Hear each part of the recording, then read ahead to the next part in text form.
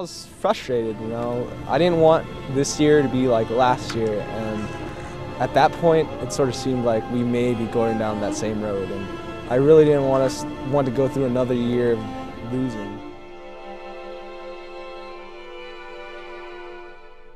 You know, gain a lot of respect from other teams. We had a horrible season the year before. Just kind of like regain the Apache name and, you know, be a great senior leader, someone that's, you know, going to make an impact in the year.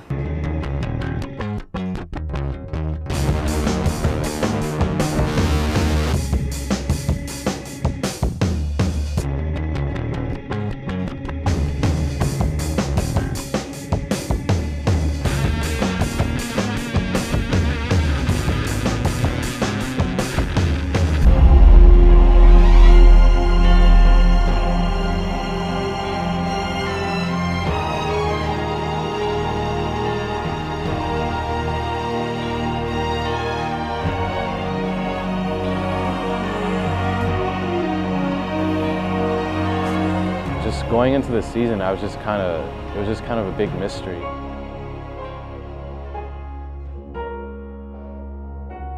Arcadia is strong. That game made a statement that, you know, we're coming back.